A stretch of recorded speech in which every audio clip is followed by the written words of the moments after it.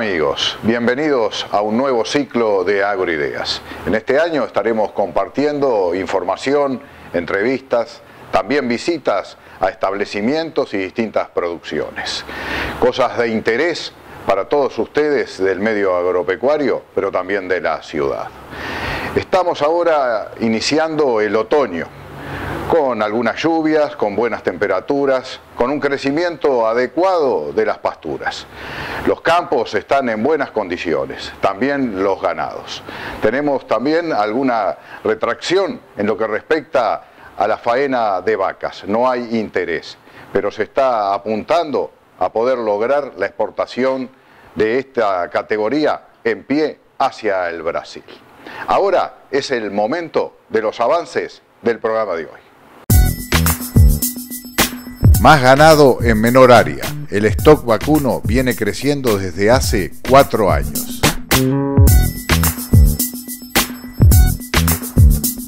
Miel, buenos rendimientos y buen precio.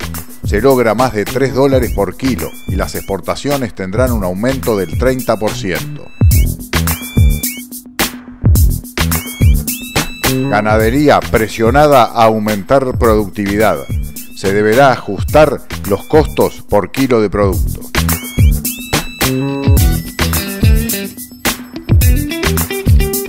Brucelosis, un enemigo de la producción, un problema que productores y ministerio enfrentan con eficiencia.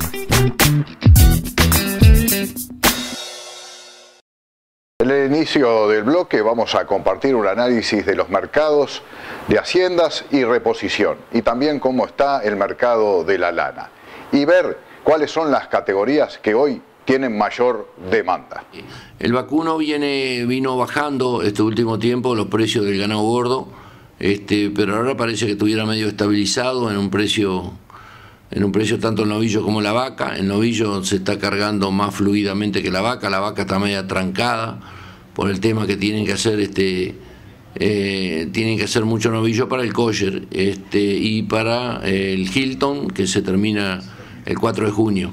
Este, pero este, creemos que ahora, por lo que nos, están diciendo los frigoríficos, que a partir del 1 de abril van a, van a aumentar la faena, que eso nos va a facilitar sobre todo que van a dejar de hacer un poco de kosher, algunos frigoríficos, otros no, y, y vamos a empezar a cargar todas las vacas que tenemos anotadas, que hay una cantidad bárbara de vacas que esperemos que ahora en abril salgan, ¿no? Este, y más si aumentan la faena, eso nos va a favorecer. En lo que se refiere a categorías de terneros y novillitos y vaquillonas, hay también una inquietud este, importante en los productores y ustedes para poder colocar esos productos. Sí, tenemos mucho interés en ternero este, para, la, para productores este, que están comprando terneros y vaca de invernal y bueno, para la exportación también, que el ternero marcha castrado o entero para la exportación y la vaquillona sin servicio y con servicio marcha también para la exportación, este, que hay pedido para, para los barcos. Este, bueno, y bueno, estamos este, manejando mucho lanar para los frigoríficos, este, están haciendo mucho lanar y el precio ha mejorado el lanar, ha mejorado considerablemente. Todas las categorías de lanar están haciendo los frigoríficos, que es muy importante. En lo que te íbamos a preguntar con respecto ahí está los ovinos. Hay un negocio fluido importante, quiere decir que los productores eh, pueden arrimar cualquier tipo de categoría que tengan pronta a nivel de los ovinos. Sí, señor, y si no tiene camión completo no importa, porque con otro cliente completamos el camión como ya lo estamos haciendo, que de repente tienen medio camión y otro productor tiene medio camión y hacemos un camión. Este, pero se está, hay mucho interés de la, de, la industria por, por, por la NARE. En lo que se refiere a las lanas, hay interés eh, los barraqueros en comprar, pero el precio está sostenido. No, hemos... está, normal y no están muy vendedores los, los, productores, pero las barracas, precio hay por lana, tanto en Corria como Merino hay, pero los productores están esperando si hay alguna mejoría o algo, este, pero se está vendiendo, algo se está vendiendo. En lo que se refiere ha finalizado Pantalla Uruguay con una eh, situación buena, a muy buena. Eh, ¿Cuándo sería la próxima pantalla y los próximos remates importantes de pantalla? Bueno, tenemos, tenemos en abril, tenemos el 26 y 27 de abril, tenemos la próxima, la próxima pantalla. Este, así que si los productores quieren ir anotando los, los productos, pueden ir anotándolo con tiempo. Este, bueno, y bueno, negocios de, de particulares, de para el campo hay este pedido de todas las categorías, así que el productor que quiera vender algo que se arrime que compradores hay, más ahora que los campos están excepcionales, ¿no? El tiempo va inmejorable. Este, así que este, estamos, estamos trabajando a, pleno en ese sentido. Muchas gracias, Roberto. Bueno, gracias a ustedes y cualquier consulta que los productores quieran hacernos, que vengan por acá o nos llamen por teléfono.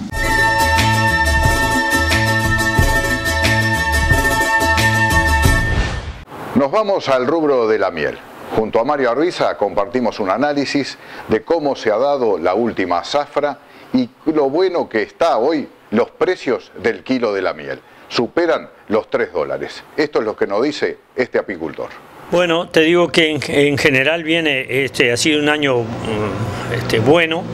Eh, se han, coincidido dos cosas importantes, que es las condiciones, o sea, a través de las condiciones climáticas y del, y del buen manejo y el, nivel de conocimiento que tienen los apicultores eh, acá en la ciudad, por los programas que han habido de, control de, de, plagas y enfermedades, este, la gente eh, ha avanzado mucho en el tema del manejo y eso eh, nos ha dado la posibilidad de tener las colmenas muy bien, el clima ha ayudado, la producción de, miel de primavera fue, fue interesante, fue muy buena.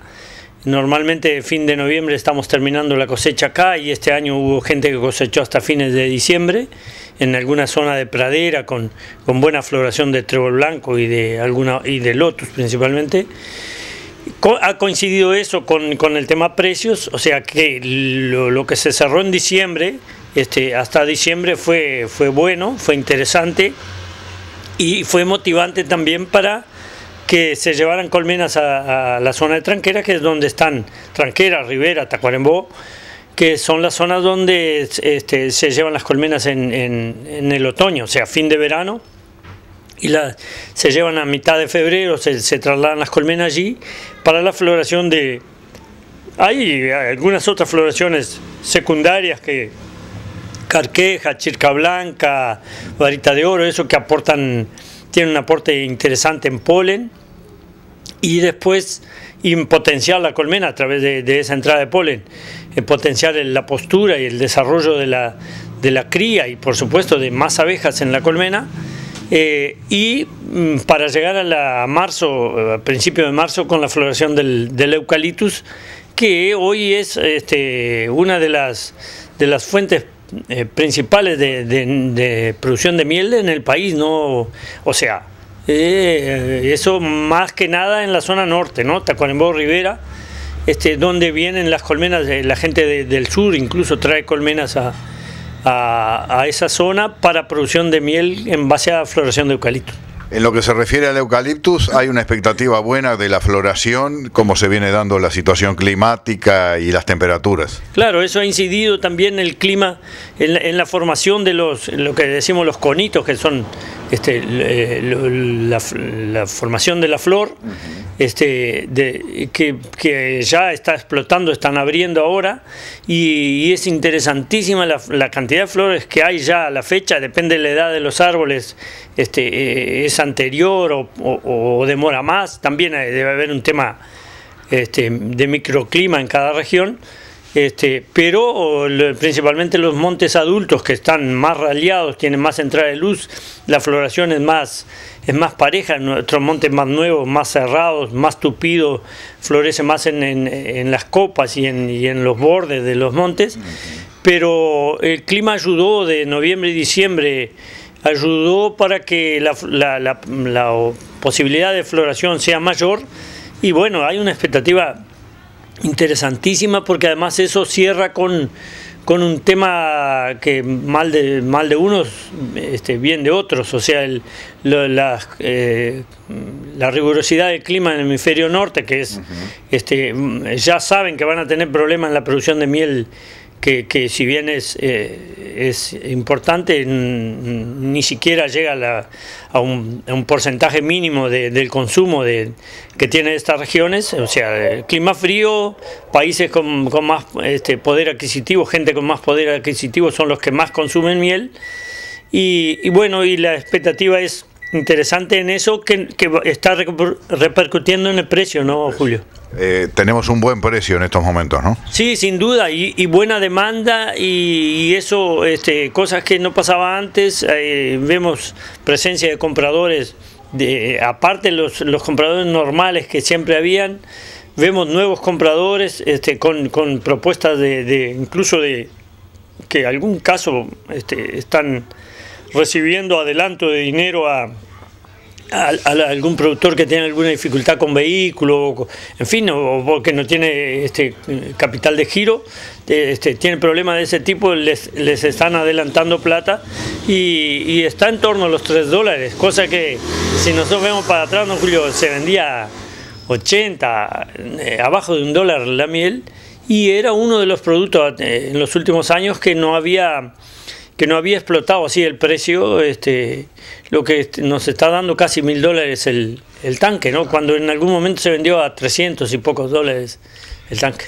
¿Hay algún problema con respecto al traslado de los cajones y con respecto a la ruta, la ruta 30, los pozos, lo cual eh, están teniendo que trabajar en plantas de la zona de tranqueras porque les dificulta traer acá al lugar, ¿no? Claro, sí, eso sin duda no, este, dicen los, los amigos allí de Tranquera que, que el, el, Ministerio de Transporte en esa zona está pintado, ¿no?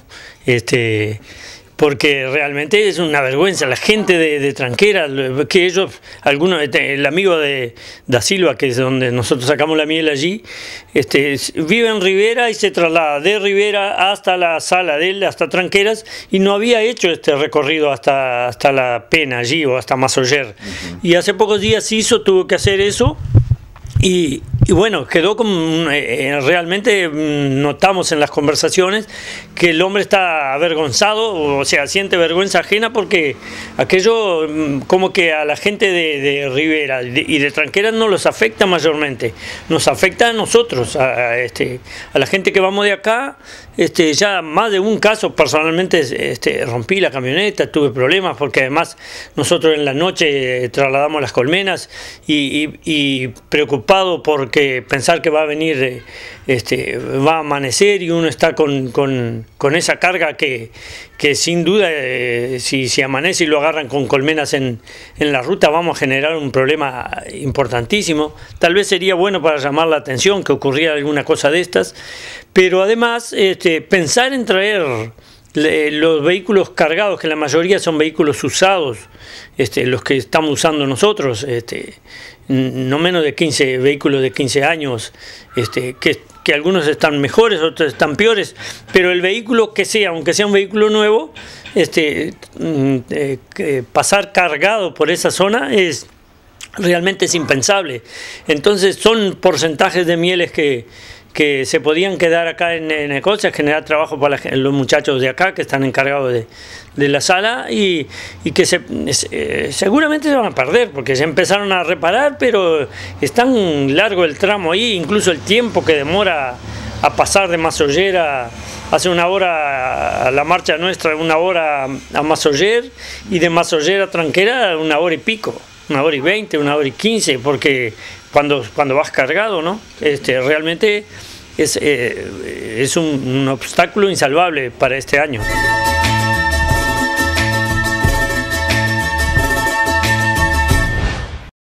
¿Cuáles son los momentos importantes para atender la sanidad animal? Eso lo compartimos con el doctor Gonzalo Franza. Vemos cómo se encuentran los ganados, cuáles son los momentos actuales para tener precaución de determinadas enfermedades y atenciones sanitarias. Venimos de un verano, un verano realmente bueno desde, el punto de vista, desde el punto de vista productivo, yo diría con, con, dos veranos juntos es muy difícil que se dé con esa cantidad de agua. Este, y eso siempre trae aparejado una serie de inconvenientes que, que acostumbramos a decir, yo por lo menos siempre lo digo, que, que este, siempre es más barato el, el, el, el remedio que el pasto. O sea, más fácil el, curarlas, este, algún tipo de inconveniente que eso trae, este, pero si tenemos eh, abundancia de comida, que es lo fundamental para poder... Este. Y es así que, mm, que en los ovinos, por ejemplo, eh, eh, hay que estar muy, muy, muy arriba para, por el tema de la, de la parasitosis, este, que todos sabemos con las condiciones que están, dando de calor y humedad, este, la lombriz ha, ha galopeado bastante y los lugares, este, los productores este, ya, están, ya saben muy bien cómo manejarse con eso, sobre todo con, con los coproparasitarios, que lo van haciendo y van monitoreando la, situación, pero los remedios, este, los, los, los, los, específicos están durando, según ellos dice, dice le, dura, le dura mucho menos, pero claro, es que también este, el animal está levantando mucho más, más, más largo, evidentemente. Los campos se han achicado muchísimo para la oveja y eso la gente eh, a veces no puede, no logra entender que los campos empastados, la oveja solamente se mantiene en, los lugares donde el pasto está, está bajo y, y, la concentración de oveja por hectárea aumenta este, eh, en algunos casos cuatro o cinco veces. Y eso mismo eh, provoca a que la lombriz este, eh, haga mucho más estrago.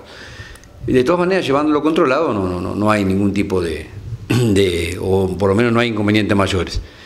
Por otro lado, eh, también lo que ha, lo que ha este, eh, con toda esta humedad y con este calor, y han aparecido bastantes problemas podales. Mm, la gente está haciendo, está haciendo mucho pediluvio eh, y en algunos casos no es suficiente. Aparecen igual, sobre todo a nivel de razas más sensibles, como es el merino. Este, y, y bueno, y ahí se ve, se ve también la, la, la, gran diferencia entre las majadas que son libres de petín y las majadas que, que, este, que están luchando para, para, para, hacerlo. Los productores este, tienen que andar arriba prácticamente para que, para que el animal no, no, no, no, no primero que no contraiga la, el, el, el, furrote y, y, después para que no vaya a bichar y transformarse en un problema mucho más grave. Sobre todo eh, este, en el tema de carneros se está viendo bastante eso. Este, porque claro, el productor que cuenta, por ejemplo, contaba con, con 20 carneros, estaba tranquilo que le iba a dar para la encarnerada, resulta que llegó a, la época de encarnerar y se encontró que, que, le empezaron a, a, provocar problemas a, dos o tres o cuatro o cinco carneros en algunos casos, y he visto, he visto casos este, hasta, hasta la mitad de los carneros prácticamente, el 50% que, que, se vio afectado, y esos carneros este, tienen que, que eliminarlos, ya este año prácticamente no le van a servir, ¿no? Este, y eso todo es un problema.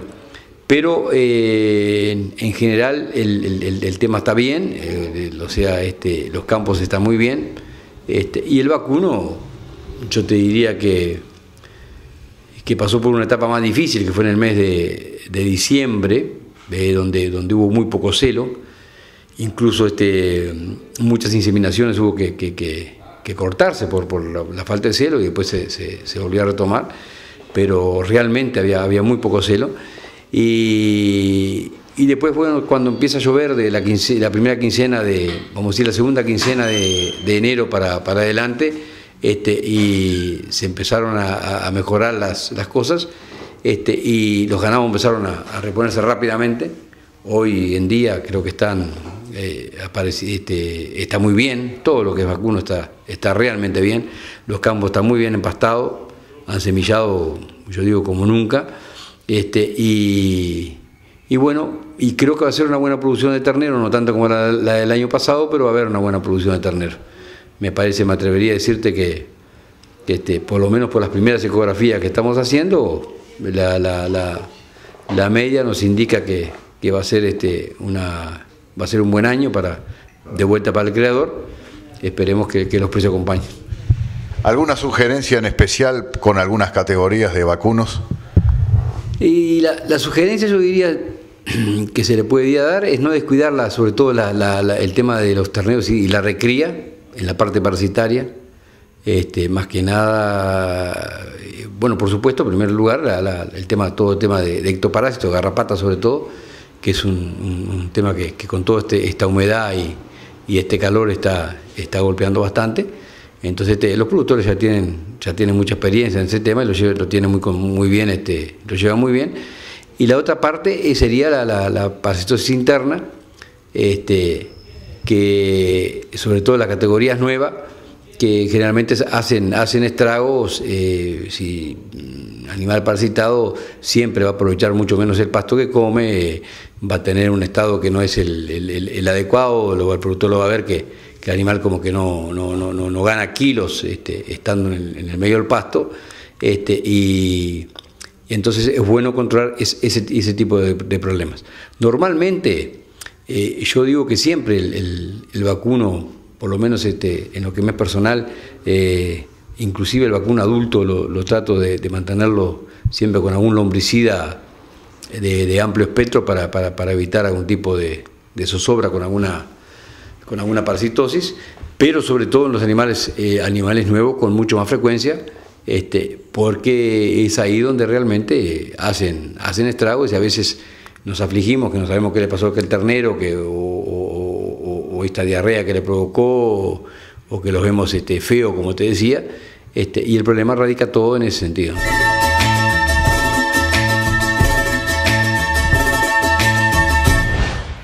La ganadería uruguaya está cada vez ganando más mercados para presentar su producto, la carne. En este caso, se realizó un spot publicitario entre INAC y el Ballet del Sodre para presentar la carne en la República Rusa.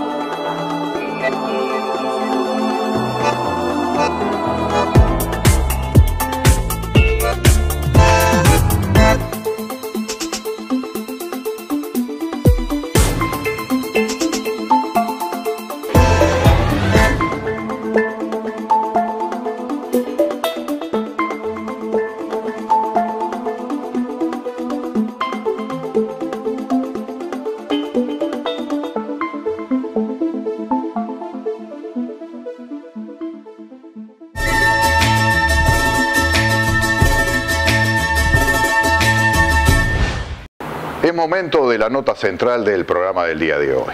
Nos vamos a unos 43 kilómetros de la ciudad de Artigas, al establecimiento Don Bosco del señor Miguel da Silva. Ahí se realizó inseminación a tiempo fijo. Vamos a ver cuáles son los objetivos de este, esta herramienta productiva y también las ventajas que lleva al productor en lo que es concentración de nacimientos, concentración de tareas y también mejorar la genética. Eso lo compartimos junto al doctor Alfredo Acosta.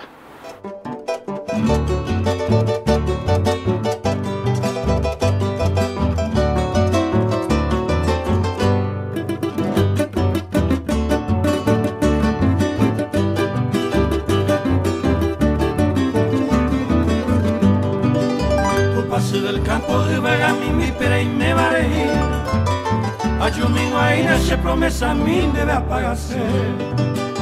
Anaseja la muerte tentaron se mi mequín. Pura y por me apaga jamás o mandaba escuela.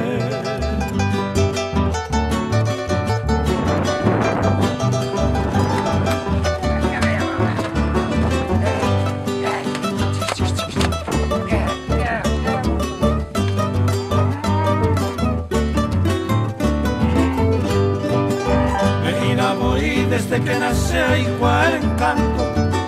Tu paso del campo tama ese mí.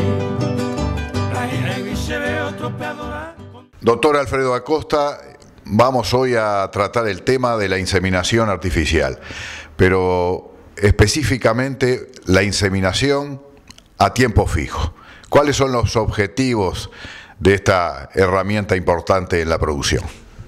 Bueno, un gusto, ingeniero, y sinceramente es importantísimo para el productor, para el país, para nosotros los técnicos, este tipo de trabajo que, surgió, en el cual este, el objetivo es, es introducir eh, un número determinado de animales de gran valor genético en un rodeo y a su vez, por otro lado, acortar los tiempos del entore. Eh, usted sabe que primeramente los rodeos de cría son este, bastante difíciles de, de preñar en el sentido como anteriormente se hacía la inseminación por el tema de la detección del celo. En este caso nosotros usamos una herramienta que nos permite inseminar dentro de cuatro horas luego de retirado un dispositivo que se llama DIP y este, dentro de ese plazo hacemos la coordinación tanto de la ovulación y la vida útil tanto del espermatozoide como del óvulo. Eso es lo que a grandes rasgos se utiliza y se produce también una disminución del costo en lo que es eh, por cabeza de ternero al término de, una fase reproductiva en un rodeo de cría. También se puede hacer en animales solteros, tanto en vaquillona como vaca fallada, y se actúa de la misma forma. Eh, existe un protocolo en el cual lo establece el laboratorio al cual pertenecen los productos eh, que tenemos que respetar estrictamente con referencia a plazos en, horas. Antes de, iniciar el trabajo, nosotros tenemos que, como técnico, eh, establecer pautas técnico-productor que nos permita mirar el ganado, que nos permita mirar los terneros. Eso nos lleva a mirar la condición corporal de las madres y a su vez mirando los terneros vamos a tener eh, una idea de en qué etapa está el útero de las vacas con el último ternero parido, que por lo menos tiene que andar alrededor de 55 días posparición para que haya una recuperación del aparato genital de la hembra, eh, conjuntamente con todo lo que involucra a la condición corporal que anteriormente la mencioné. Nosotros este, tenemos que actuar defendiendo la tecnología, o sea, los buenos resultados van a hacer que nos permita seguir aplicando este trabajo. Por eso es importante no apurarnos en hacer el trabajo y sí respetar la condición del animal, dado que eso va a ir a favor de los resultados finales del trabajo. El objetivo nuestro es lograr una mejor producción de ternero. Alfredo, eh, quiere decir que es muy importante en ese inicio esa relación productor-técnico en la definición del rodeo, realmente cuáles son las vacas que vamos a inseminar, las vaquillonas y estudiar y hacer un, eh, un estudio muy concienzudo del tema de condición corporal y estado funcional de los vientres. Sí, por supuesto, nosotros hoy por hoy tenemos muchas herramientas, aparte que de las que le mencioné, y, por último, nosotros si tenemos alguna duda, haremos un diagnóstico del aparato genital de la hembra, introduciendo este, el ecógrafo de por medio, este, estaremos examinando en qué grado se encuentra la mayoría de las vacas en su fase reproductiva, refiriéndonos al ovario, en el cual tiene que haber cuerpo lúteo, tiene que haber folículos en estado este, de maduración y eso nos da una idea de cómo va a ser el resultado del trabajo. Y si tenemos dudas con algunas vacas, las vamos a refugar. Vacas que, no presenten una condición de ovario con actividad eh, ovárica, o sea, folicular, la, tendremos que estar, estar eliminándola del rodeo. En lo que respecta ahora a la planificación de las tareas para esta inseminación a tiempo fijo, tenemos en principio eh, unos los desde el cero al octavo día. Eso es muy importante porque hay todos unos trabajos eh, que quisiéramos que los detallaras.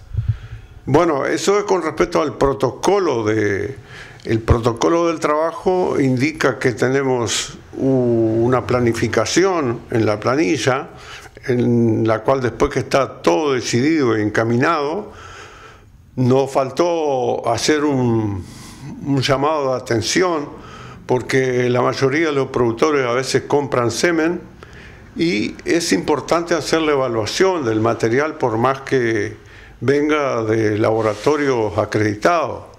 Este, a veces pueden incurrir sucesos que, que uno no los puede conocer y no podemos arriesgar la totalidad del valor del semen más el tiempo que incurre el trabajo hasta la espera de un resultado de preñez o vaca fallada, eh, obviaremos este problema haciendo un test de termoresistencia en las pajuelas que han sido aportadas por el productor, que nosotros simplemente vamos a ser los técnicos que las vamos a colocar en el útero de la vaca.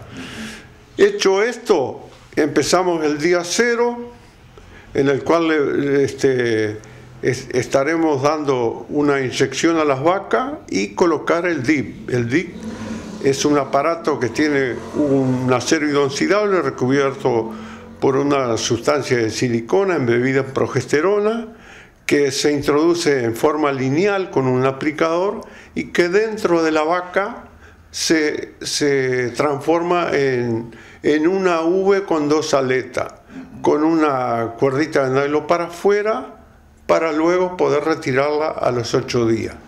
Junto con esto le damos 2 centímetros de estradiol, es una sal de, estradiol, 2 centímetros y esto va a hacer que ayudara a, a la actividad ovárica y posteriormente a los 8 días estaremos agregando tres inyecciones. Una que es una hormona folículo estimulante, eh, la cual va a aumentar la actividad del ovario, va a hacer que crezcan los folículos, y otra es este, un, un estradiol de liberación lenta, cipionato, una sal de cipionato, y posteriormente este le, estaremos dando como el mismo día la prostaglandina, que es la que va a ser la lisis del cuerpo lúteo y posteriormente al sacar el freno del, del, útero de la vaca, que es el aparatito que habíamos introducido, más todos los productos, van a hacer que ese ovario entre a funcionar dentro de las 72 horas aproximadamente. A partir de ahí, nosotros tenemos entre 52 y 56 horas para hacer el trabajo, lo que va a, a, completar el protocolo, que son el día 10, que es cuando termina el trabajo. Y ahí haremos la inseminación, usaremos una conservadora para hacer la descongelación de las pajuelas, o un termo como en el que aparece que tanto puede ser usado con corriente este, normal, con un transformador de 12 volts o con la batería del auto. Luego del día 9 y 10 de la inseminación, tenemos a los 21 días un control de celos nuevamente y cuáles son los procesos de ahí en adelante. Bueno, no, eh, el día 9 no, es el día 10, el día de la inseminación, porque tiene que coincidir cuando usted saca el aparato, el DIP, 72 eh, horas aproximadamente, pero que coincide con las 52 a 56 horas que hay que realizar la inseminación. Por ejemplo, si son 150 vacas, más o menos, si las condiciones normales de, trabajo e instalaciones son buenas, se puede hacer en alrededor de dos horas y media. Y con respecto a lo que usted me preguntaba de, los celos, a los 21 días las vacas van a empezar a repetir celo, pero vamos a estar en el mismo problema de la dificultad los ganados de cría. Generalmente el productor lo acentora y si no puede parar rodeo tres días y sacar las que fallaron y, hacer un nuevo rodeo con las vacas que aún no han completado su ciclo por, o condición corporal por este ser de aparición tardía. Entonces ahí se puede hacer una segunda inseminación, como va a ser el caso este que mostramos en la tele. Nosotros vamos a hacer dentro de la semana próxima otra inseminación con las vacas que estaban en ese problema de no haber completado su actividad ovárica por tener mm, mm, los cortos días de aparición. En lo que se refiere a las ventajas de este instrumento importante que es la inseminación a tiempo fijo, tenemos unas ventajas importantes, concentración del trabajo, concentración de nacimiento y también una mejora genética, que nos des una visión general de estos aspectos. No, evidentemente que sí, le permite al productor en los ganados de cría eh, acortar los plazos del entore porque se concentra en 21 días, en un día solo, y posteriormente hacer un repaso que van a andar alrededor del 35% de los animales el retorno al servicio. Los trabajos andan rondando entre el 70 y el 65% de preñez y lo que no quedó preñado lo, preñarán los toros. Eh, es normal esto, eh, se ocurre en cualquier rodeo, siempre los resultados, hablando de, rodeos fértiles y de toros fértiles, ocurre esto. Por otro lado, este, eh, imagínense usted que eh, estamos hablando de promedios de valores de toro de 4 mil dólares o 3 mil dólares y nosotros estamos preñando 70 vacas en un día solo con un costo sumamente inferior, alrededor del 40% menos de lo que valen los toros y con un valor genético impresionante. ¿no? si fuera a usar esto con toro estaríamos hablando de valores muy superior a 4 mil dólares y, le permite a su vez este, también el próximo año, si no le gusta, cambiar la genética. Y con los toros no ocurre lo mismo. Y una homogeneidad de terneros también en unas fechas de nacimiento bastante concentradas. Sí, por supuesto que sí. Esto es, es valorado enormemente por los productores, ¿no?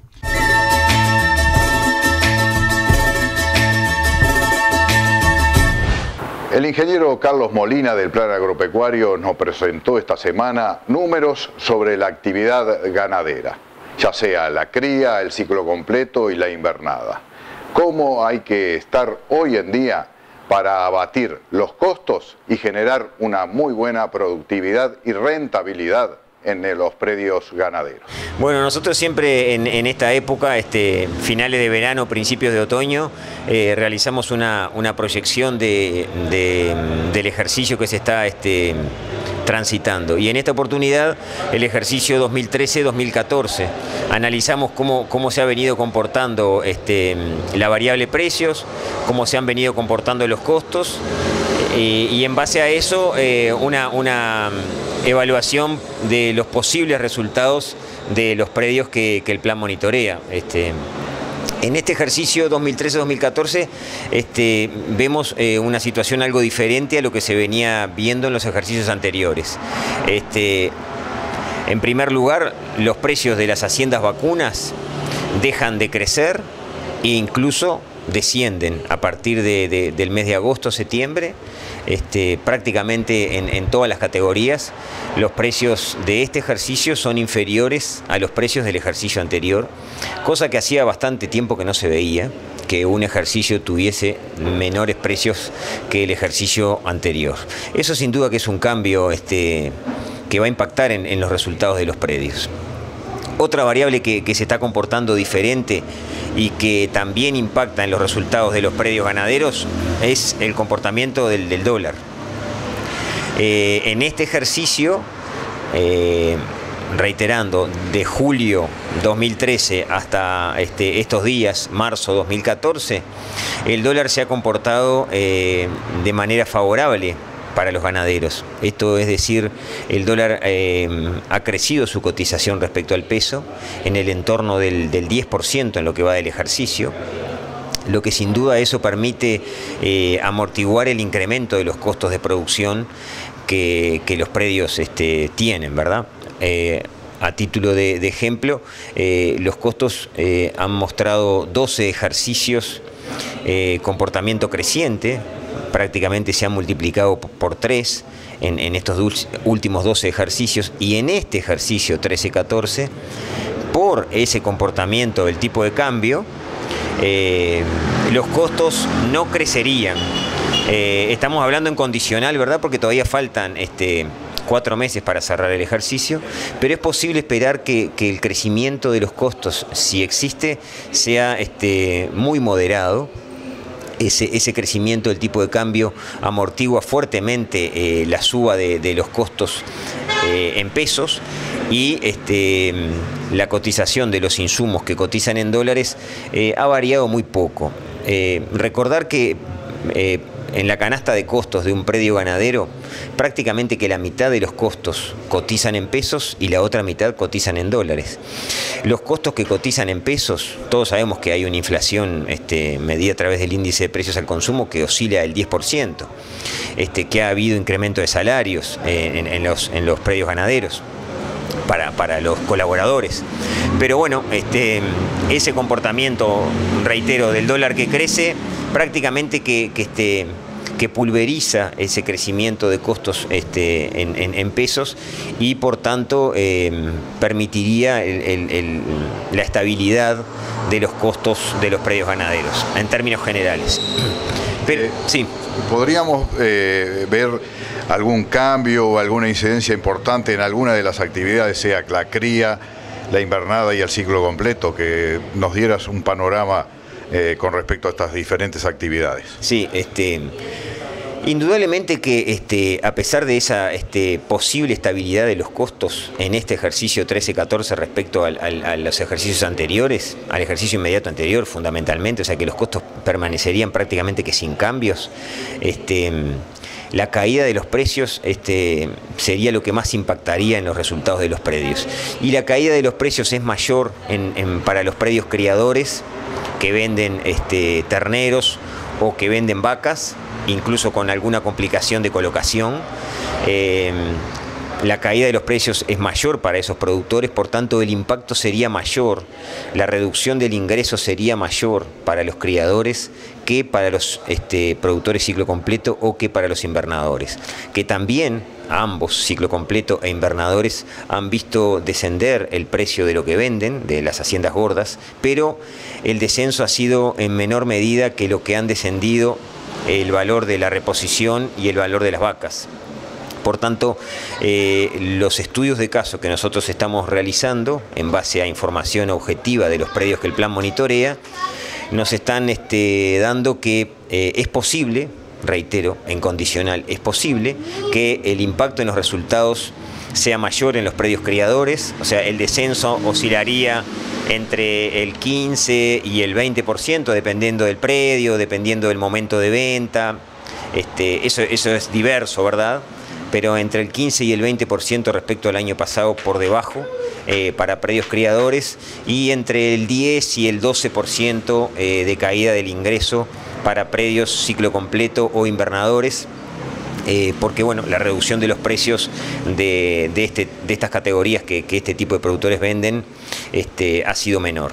Pero esto no quiere decir, esta caída del ingreso no quiere decir que, que este, que los predios eh, lleguen a ingresos negativos, ni mucho menos. Lo que sí quiere decir es que va a ser difícil que repitan los muy buenos resultados que habían logrado los predios que el plan monitorea, reitero, este, los muy buenos resultados que lograron en el ejercicio 12-13 por esa caída de precios. Pero no quiere decir, reitero, que este, estemos en posición de resultados negativos, ni mucho menos habría que poner énfasis a nivel de técnicos y de productores en eh, ajustar tecnologías de procesos y también tecnologías de insumos para poder seguir teniendo la, productividad que se venía obteniendo a nivel de criadores y generar lo que hemos generado, que es los 3 millones de terneros. Por supuesto, este, nosotros este, veníamos haciendo bastante énfasis en, momentos de precios buenos, este, como hasta el año pasado, o de precios muy buenos, históricamente altos, en el ajuste de las tecnologías utilizadas por los productores, de las como bien eh, tú decías, de las tecnologías de insumo y de las tecnologías de proceso, para lograr este, adecuados niveles de productividad y sobre todo costos por kilo controlados. Y bueno, en, oportunidad de, un descenso de los precios como en este ejercicio, este, reforzar esa idea, reforzar ese mensaje de ajustar lo más posible eh, las tecnologías que se utilizan en los predios, sea de insumo, sea de proceso, o sea la combinación de ambas, para bueno, este, hacer frente a, un, pestaneo, a un descenso de los precios que no era esperado, pero que sucedió. Eh, con el objetivo de bueno, seguir con la empresa en marcha, de este, seguir este, apostando a, buenos niveles de productividad que permitan eh, hacer frente en esta oportunidad a un descenso en los precios controlando los costos, no solo los costos por hectárea, sino los costos por kilo de, unidad producida. Y sobre todo, teniendo claro que este, seguimos igualmente en, valores este, interesantes de, precios, por tanto, este, eh, con el apoyo, con, la ayuda del clima, que ha sido en general eh, favorable para la ganadería en esta primavera, verano y comienzo del otoño este 13-14, tal vez este, con ese apoyo del clima y con ajustes en, las tecnologías utilizadas en los predios, este, se puedan lograr nuevamente eh, algún incremento en productividad que permita amortiguar eh, la caída de los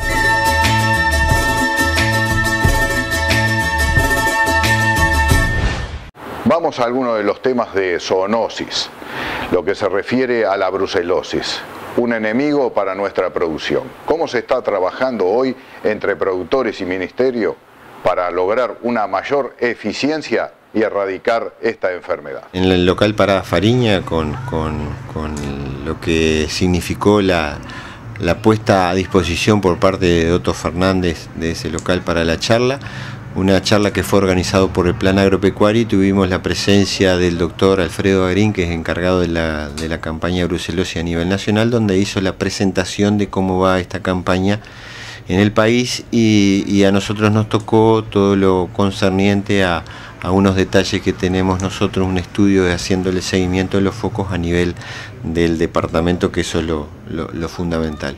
En términos generales, lo que nos trasladó Garín es que se ha evolucionado. Eh, un dato importante es que hoy, con respecto a los al 2005-2006, se está necesitando muchos más sangrados para descubrir un positivo que antes. Por lo tanto, significa de que eh, la, enfermedad ha ido retrocediendo. Eh, en estos momentos hay un número histórico mínimo de, focos de brucelosis en el, en el país. Y en lo que concierne a las medidas, este, se están estudiando nuevas medidas para afianzar estos controles avanzados que se están, este, que se han eh, comenzado a lograr, pero en conjunto con las gremiales de productores para de ahí en, forma este, mancomunada llevar adelante esta campaña sanitaria, porque ya si no hay apoyo de los productores, la profesión veterinaria y el ministerio, por supuesto, no puede hacerlo solo. Con respecto al departamento de Artigas, mantiene la tendencia en lo que significa a, esta, a la, reducción de la aparición de, animales positivos. Eh, eh, tú verás en, las gráficas que vas a ir pasando de que hay una tendencia a la baja en la cantidad de números focos. También es, importante destacar de que lo que los televidentes están viendo en estos momentos es que eh, aparecen focos de un animal como focos de 900 animales en el sangrado, que vos los estudias epidemiológicamente y a pesar de ser focos, este, epidemiológicamente son, son, son muy diferentes y, también la diferencia en cuanto a, al, al, riesgo sanitario que, conlleva eso. Eh, es importante también destacar de la secuencia de que cómo fueron apareciendo esos animales positivos y es importante todavía más destacar de de las herramientas que tiene el productor y el veterinario para luchar contra esta enfermedad que a mi modesta opinión, es el sangrado por primera fase, después el manejo a nivel de los establecimientos y posteriormente la vacunación, las tres. Una no quita las otras, pero en cuanto a prioridades yo te digo que sangrados, destacar los positivos, eh, manejo en los establecimientos focos y la, vacunación correspondiente. Y en lo que tiene que ver con la aparición de focos, si ustedes lo, van a ir manejando en esta presentación que hizo el, Ministerio de Artigas, ustedes verán de que se hace una, una partición desde 2013 hasta el 1 de julio del 2008 y ahí se ve que en la gráfica un importante porcentaje de aparición de focos es a través de sangrados en los frigoríficos. A partir del 1 de septiembre de 2008, ahí se comenzó una nueva estrategia de sangrar todos los establecimientos de una seccional que era categorizada de riesgo porque en un año anterior a esa fecha había aparecido un foco de brucelosis. Y ahí ya la gráfica cambia notablemente donde un gran porcentaje de focos es debido a la aparición de sangrados de movimiento, a la investigación de linderos y a la investigación de establecimientos con vinculación epidemiológica de esos focos.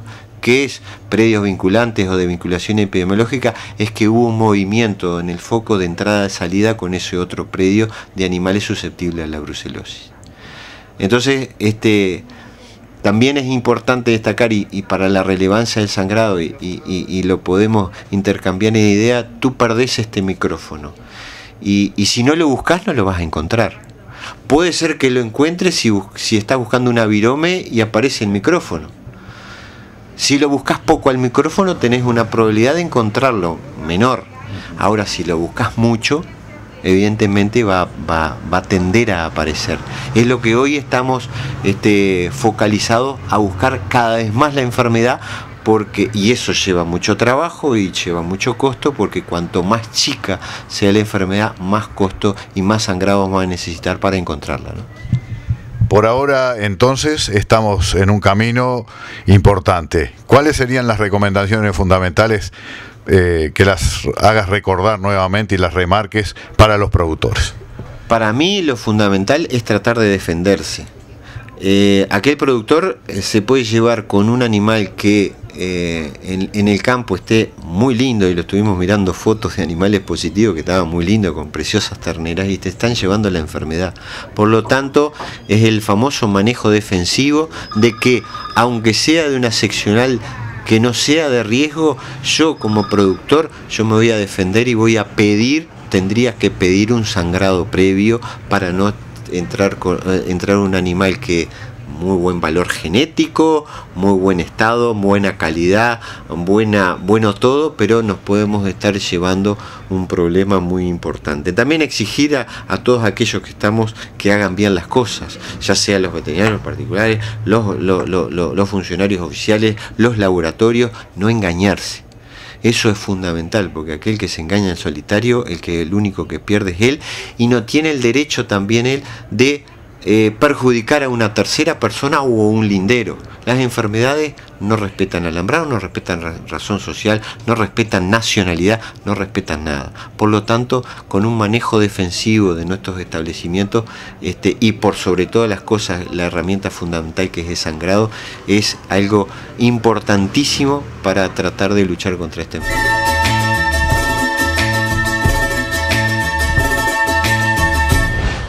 En la actividad del arroz se está avanzando en la cosecha, se están logrando buenos rendimientos y vemos un análisis de este momento de la zafra. Acá en el norte ya, departamento de Artigas, ya vamos más o menos un 70-75% de la cosecha. Eh, ya es un, es un área grande la, que ya se hizo a nivel nacional, vamos un de un 30 al 40, hay que destacar que acá en Artigas empezó una cosecha temprana, en el este hace 15 días que empezaron la cosecha, entonces allá van recién un 20-30%, que allá están más atrasados, fue más por un, tema de, fecha de siembra, acá se sembra un poco más temprano, se puede sembrar más temprano porque hay más calor acá, vamos a decir que la primavera arranca más temprano en el norte que en el sur. Entonces por eso que se empezó a, cosechar acá el 10 de febrero. Entonces ya vamos con un área muy interesante. las cosechas vienen bien, en principio acá, te hablo que acá en, en Artigas las cosechas vienen bien, eh, el recibo también viene bien en todas las plantas de molino, tanto acá en Artigas como en Gomensore, Bella Unión. En con la Palma vienen recibiendo bien, no hay cola, vamos a decir, en principio tampoco no hay paro, que eso a veces dificulta eh, el, recibo, ¿no? a veces puede haber paro, temas sindicales en los molinos ahí, pero en principio no hay problema acá. Y viene una, ahora vamos a decir que es el pico ahora es el pico de la cosecha acá en el departamento de Artigas, pero en líneas generales eh, no hay problema en, los molinos. Y, en lo que, lo que se refiere a las chacras, los rendimientos vamos a decir que son aceptables. Había una mayor expectativa de, un rendimiento mayor, dado que el cultivo estaba muy bien.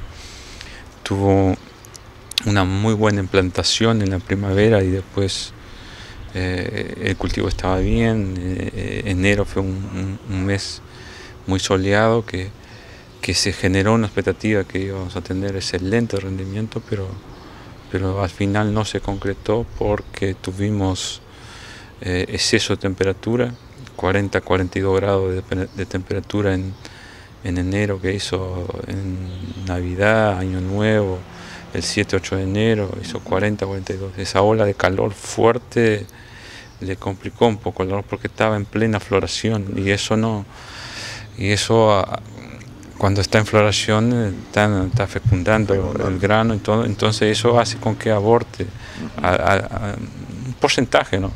que uno veía que eh, vamos a decir que el 15 el 30 de enero uno veía en las chacras mucho arroz sin llenar todo chuzo entonces uno veía que, podíamos perder un poco de, kilos por hectárea y, fue tal cual. Después fin de enero y, la primera quincena de febrero hizo muchos días soleados, eh, muchos días nublados, algunas lluvias y eso también compromete el, el llenado del grano. Había una gran expectativa porque planta había y había una buena espiga, pero el tema que no llenó con la expectativa que todo el productor quería. ¿no? Entonces, eh, yo te puedo decir que va a ser una, una, cosecha buena, pero no excelente como veníamos manejando hace, hace dos meses atrás, 45 días atrás. En lo que se refiere a los costos, más o menos ya tenemos un cierre de, de esta zafra, ¿seguimos en los 2.000 dólares o superamos los 2.000 dólares? Sí, superamos, andamos en 2.100 dólares, superamos, hay un, eh, hay un, leve incremento en, los costos.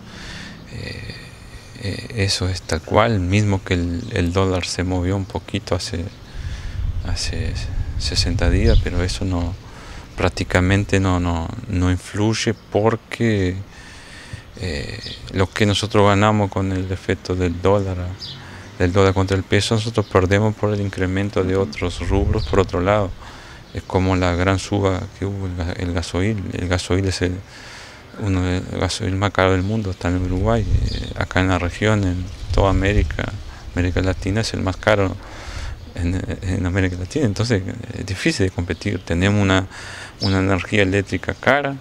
En los últimos cinco años lo que subió fue un disparate. Tenemos la energía cara, un gasoil caro, los fletes son caros. Entonces hay una, hay una carga tributaria pesada, hay una carga en los aportes en de Trabajo pesado, y todo suma. Entonces, eh, el, dólar en moverse de 21 a, a 22.50, eso no mejora nada. Seguimos en la misma, con problemas de costos, que es un, es un factor grave, no solo en el sector arrocero, como en todos los otros sectores que están relacionados al agro. Pero el sector arrocero hace eh, tres años, cuatro años que viene padeciendo de estos altos costos, dado que, que, hay una inflación alta y el dólar está planchado. Eh, en el agro hay que recordar que, eh, principalmente en el arroz, el, 70-80% de costos en dólares.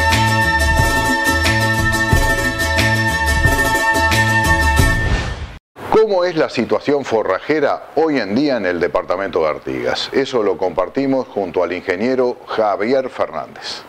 Bueno, este, la situación forrajera en el departamento te diría que está bien, este, los pastos todavía vienen con buena calidad, este, hubo una buena acumulación en lo que fue el verano, ya para entrar al otoño con una importante, una importante cantidad de volumen de, materia seca, pero también resaltar que ese volumen todavía no ha empezado a perder calidad, este, dado que bueno, viene, viene una situación muy, muy benévola, las temperaturas, este, las precipitaciones viene favoreciendo eso, este, así que hay más de lo normal, una acumulación, te diría, ya el año pasado también ocurrió algo parecido y este año también los predios sobre todo que manejan cargas ajustadas, o sea, las cargas que, soportan los campos este, vienen muy bien. En general hubo una retención de animales bastante importante, ahí tenemos bastante carga en, los, en las empresas y en todos los predios del departamento, ¿cómo estás viendo eso? Exactamente, este, hoy en día también está el problema de, bueno, que todos lo sabemos, de, las vacas, los frigoríficos, lo que está causando también este, un aumento de, lo que son las cargas en los predios, este, pero dado esta situación de, buenas pasturas, buen volúmenes de pasto, están por ahora soportando, bien, pero sin dudas que eso se va a sentir si sigue así. Van a empezar a declinar las, calidades de, los forrajes, de los pastos naturales. Y bueno, como siempre, este, alguna alternativa se busca, ¿no? Todo lo que son este, los suplementos proteicos, etcétera, pero bueno, este, es así como tú decís, y hoy en día el problema más grave este, no solo es que el productor eh, no el, precio de, la vaca, pero el, peor problema este, me parece que es que hoy en día no puede sacarla a, esa res que, bueno, que le causa eh, pérdidas económicas, o sea, tiene que pagar sus cuentas y, también que, como tú le decís, la, carga este, eh, sigue aumentando. En lo que se refiere a cómo has visto los cultivos de verano para hacer reservas, grano húmedo, hay bastante todavía maíz, sorgo, ¿ha avanzado eso en el departamento? Viene bien, este, la verdad que eh, se, ve, este, se ven áreas importantes de, cultivos de grano para, hacer reservas, sobre todo sorgo en este departamento, en el norte que es muy, es muy riguroso este, el verano, se ve cada día más lo que son las reservas de, este grano, grano húmedo, y la verdad que está pintando buenos rendimientos para este año, los sorgos están muy lindos, las lluvias ayudaron, un poco los días nublados tal vez fue lo que, lo que está complicando, pero no, en, general están muy lindos los, cultivos de sorgo eh, ya aprontándonos para lo que son, bueno, gente que ya, ya, hizo sus, verdeos, ya tiene pronto, este, y aprontándonos para, o sea, los arroceros un poco trancados con la lluvia, y para luego lo que son las, las, siembras de, de las praderas.